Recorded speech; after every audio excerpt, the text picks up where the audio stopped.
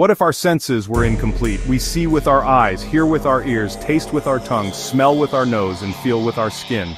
But, what if this is only the surface of reality? Science has already shown us that humans can only hear a tiny slice of sound frequencies.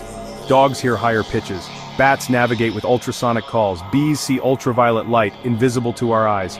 So what if there are millions of things around us right now? Colors we can't see, sounds we can't hear, energies we can't touch, just because we don't have the organ to sense them? Imagine if we had an extra sense that revealed hidden creatures living beside us, or colors beyond the rainbow, or even entire dimensions we walk through every day, unaware. After all, centuries ago humans couldn't see microbes. Until microscopes, germs were an invisible mystery. So maybe the universe still holds secrets, just beyond our sensory reach. But here's the question. If we suddenly gained these new senses, could we handle the truth?